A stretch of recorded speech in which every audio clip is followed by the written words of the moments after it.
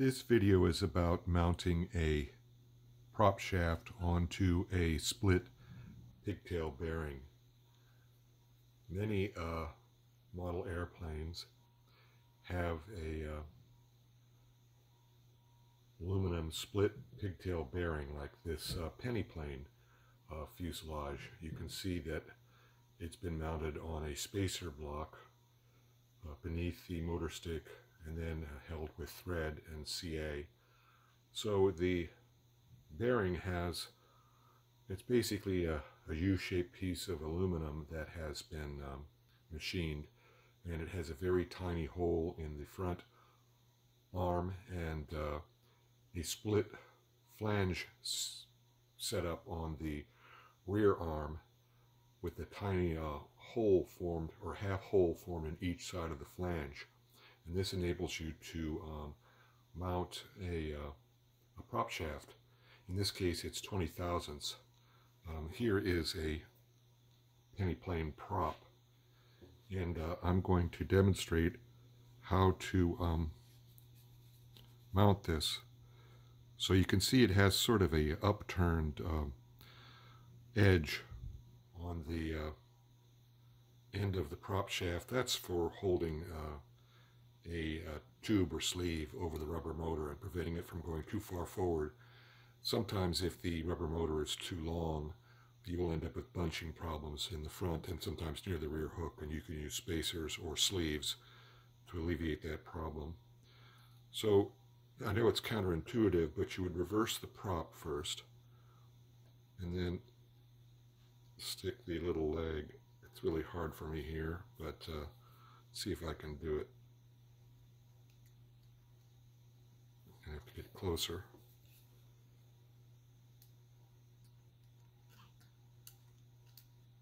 got it in there, you can see, and then basically thread it around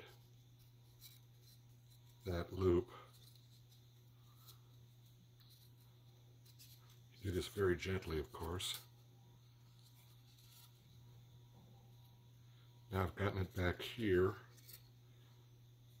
So here is where I want to adjust the orientation in that direction so that I can seat that in there and thread it in. And there we have it. Of course, the tension of the rubber band is going to hold that. I can remove the prop just by reversing those steps. I hope I kept this in focus. The same uh, approach applies to any plane that has this pigtail type bearing.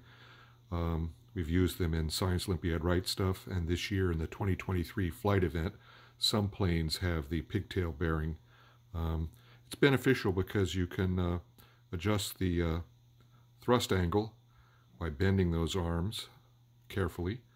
Uh, the thrust angle, you want zero down thrust and zero up thrust typically in an indoor duration plane. This, uh, I don't know if you can see it here, but this thrust bearing has been uh, mounted with about two degrees of left turn. Uh, and that's appropriate for an indoor plane of this type. Uh, and that was done with uh, very careful trigonet, tri, tri, trigonometric, I can't use the word correctly. Uh, I used a calculator, a trig calculator on the internet to get the distance. I think I held up uh, a, a, piece of 047 music wire against the bearing and raised the other end oh, about uh, a quarter or three eighths of an inch, as I recall, about 10 inches down, and that set the angle precisely. You can't really do it by um, um, appearance. And uh, that concludes the video.